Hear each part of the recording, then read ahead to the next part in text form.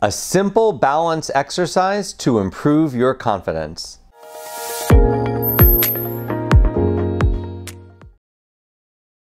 Hi, my name is Doug. I've been a physical therapist for 30 years and I specialize in helping people with balance problems learn to walk again.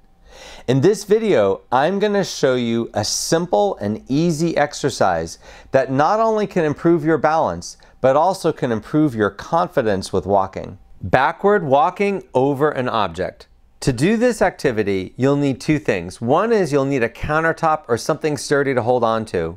And you'll also need something to step over. I would pick something that's small. You can just roll up a towel or anything else, but just something on the ground that you can step over. Then you want to carefully step over the object with both feet. Once you're over it, you want to grab back onto the countertop, turn around, and step back again. This is a great exercise at improving your balance. Your goal is going to be to do this three times without holding on.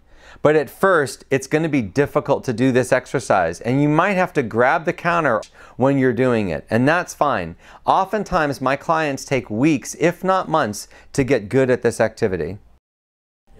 With any balance exercise, you want to practice it at least for five minutes a day. So no matter what the exercise, you want to keep repeating it for about five minutes. There's not a specific number of sets and reps. You just want to do it for about five minutes and try to practice that every single day.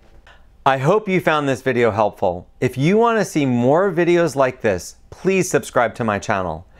And if you would like to work with a therapist or trainer that's trained in the techniques that you just saw, they can go to proprioceptiverehab.com to get training from me in exactly how to do this. I offer a course in proprioceptive rehabilitation for physical therapists and personal trainers.